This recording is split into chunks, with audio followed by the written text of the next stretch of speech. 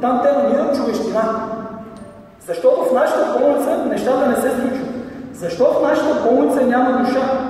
При нас е тъмно, при нас е мръсно, при нас мирише. А сигурно е болницата с най-много санитарки на глава на населението. За да се стигне до тук, за мен, единствената причина е лошо управление. А принципал на тази болница сте вие. Никой друг. Няма управител, няма доктори, няма никой.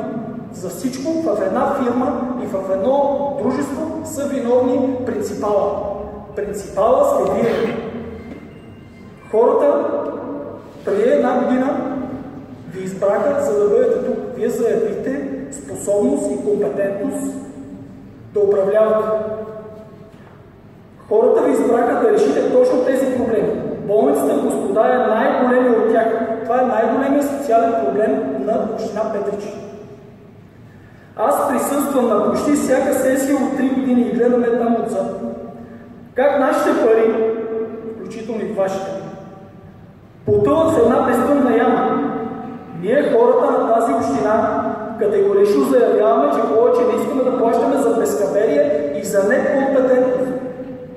Почти всички от вас управлявате успешно фирми, дано